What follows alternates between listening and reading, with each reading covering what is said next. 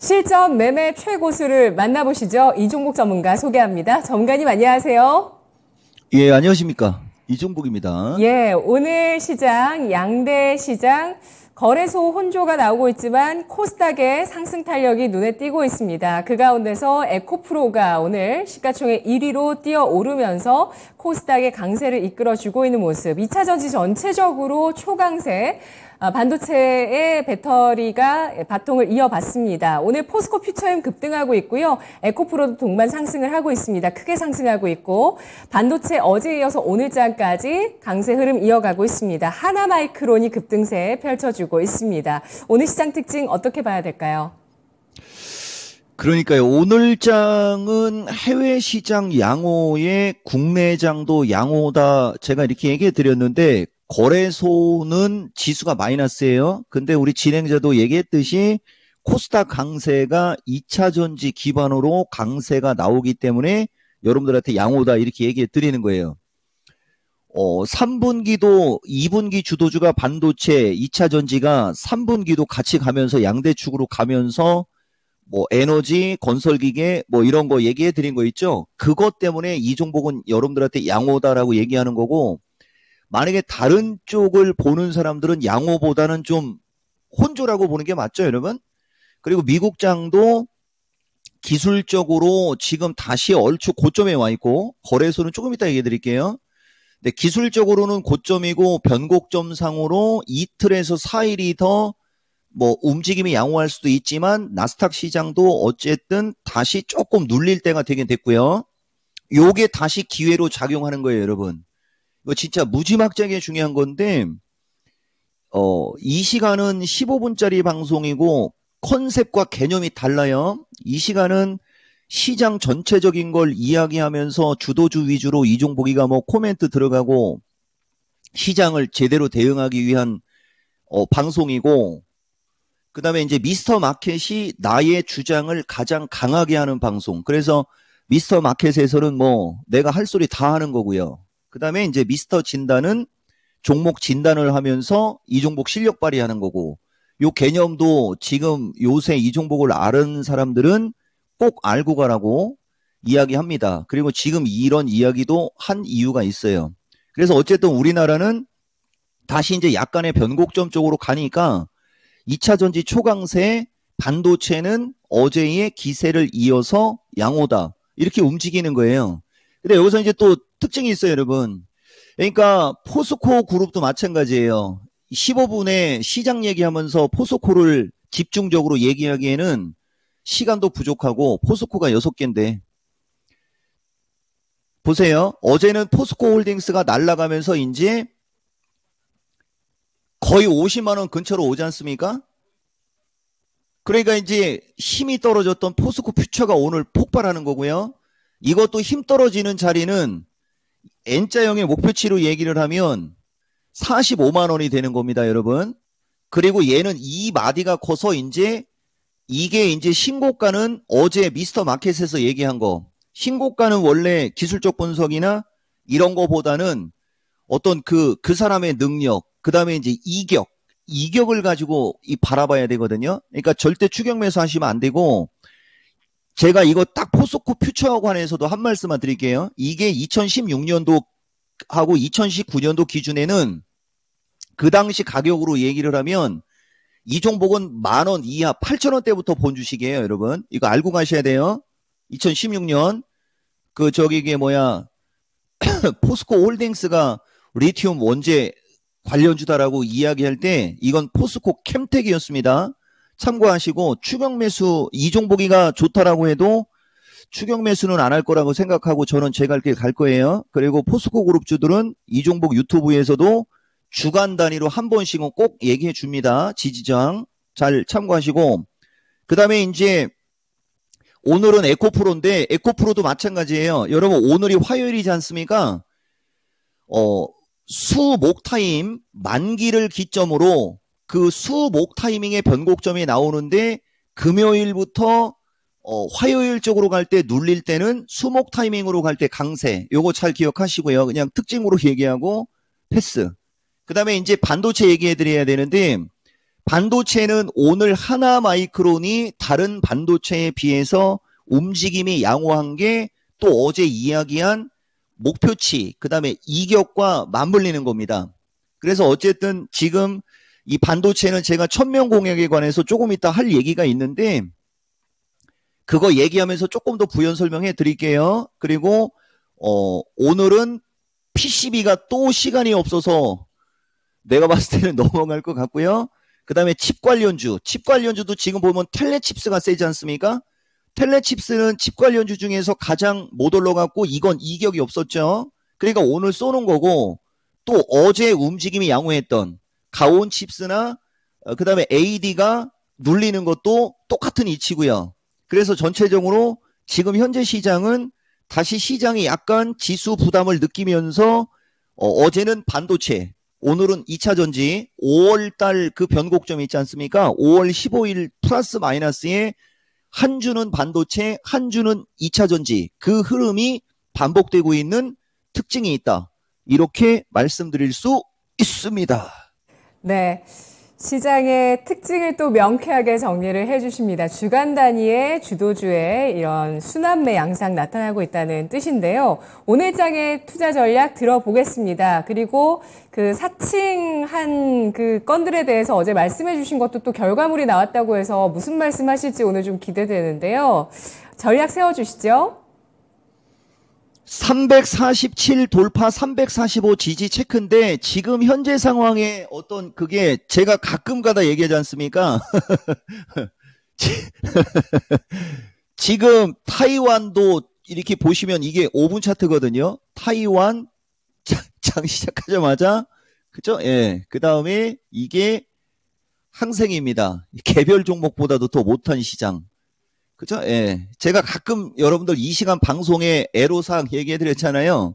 그래서 지금 지수가 밀린 거고 아마도 345는 안 깰 거예요. 살짝 밀렸다가 꼬리 달 수 있으니까 이것도 한번 확인해 보시고 만약에 이거 맞으면 이제 또 내일 미스터 마켓에서 뭐 또 떠들어 되겠죠. 자, 347, 345 들어간 거고 요게 그거예요. 제가 그냥 대본만 보여드릴게요. 지난주에 내가 이번 주 미스터 마켓에서 집중적으로 해주겠다라고 했던 대본이거든요. 여기 보시면 4에서 8일 뒤가 변곡점 어쩌고저쩌고 하면서 요, 요 4일이 보이죠? 그럼 오늘이 이틀째란 말입니다. 근데 지금 주가가 움직인 게 하나, 둘, 셋, 넷, 다 요 일곱이에요. 보통 9일 정도가 단기 변곡이라고 했잖아요. 그런 거에 그냥 움직이는 거예요, 이건. 저, 이건 그러니까 전형적인 기술적 흐름이에요, 여러분. 운 좋으면은 여기 마주보는 고점에서 눌렸다가 이렇게 올라가듯이 여기서 이렇게 눌리다가 또 이건 운 좋으면이 아니고 거의 확률이 높죠. 더 이상은 스포로 안 돼요. 그거 참고하시면 되고 그 다음에 최근 강조 섹터 중기 관점 3 말씀드리겠습니다. 우선 여러분들 아까 우리 진행자도 얘기했듯이 사칭에 관해서 말씀드릴게요.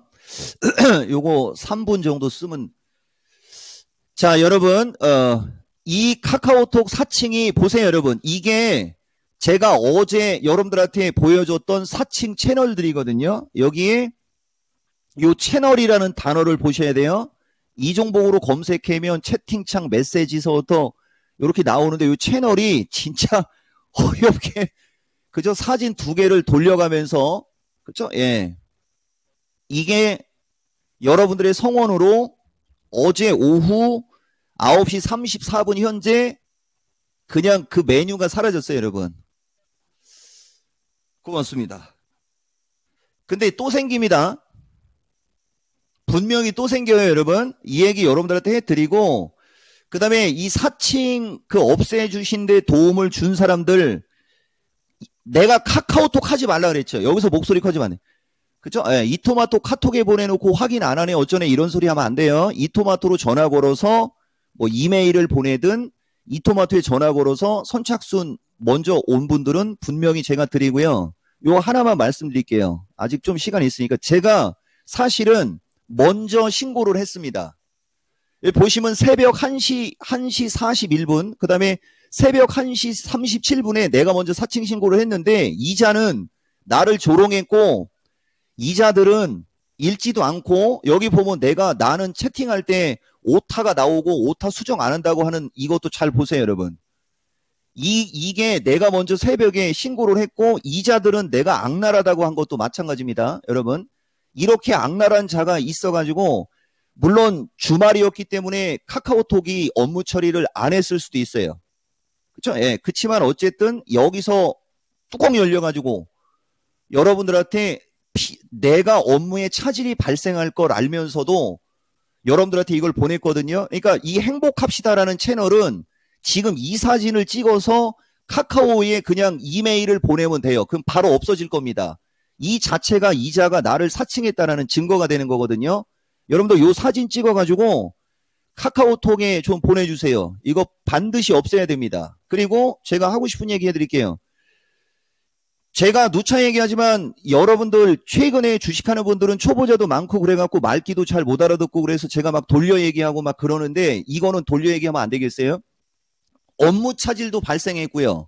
그러니까 정상적인 상황인데도 사칭으로 오해받고 여러분 지금 하고 있는 이벤트 할인 이벤트 같은 건 사칭이 아니에요 여러분 누차 강조하지만 이 토마토가 주관하는 거하고 내 직원들이 주관하는 거 있지 않습니까 이건 사칭이 아니에요. 뭐가 사칭이냐? 카카오톡으로 이루어지는 거. 정말 중요한 거 여러분. 카카오톡으로 이루어지는 게 사칭이고 사기고 이토마토하고는 정상이니까 할인 이벤트 열심히 가입하셔도 돼요. 이거 먹고 사는데 지장 생겨버려요 이거. 어쨌든 나는 그래도 이 자들을 없애는 게 우선입니다. 여러분들한테 이 말씀 드리고 어 제가 아까 최근 강조 섹터 중기 관점 3 계속 얘기한다라고 한 거죠. 얘기하면 되죠.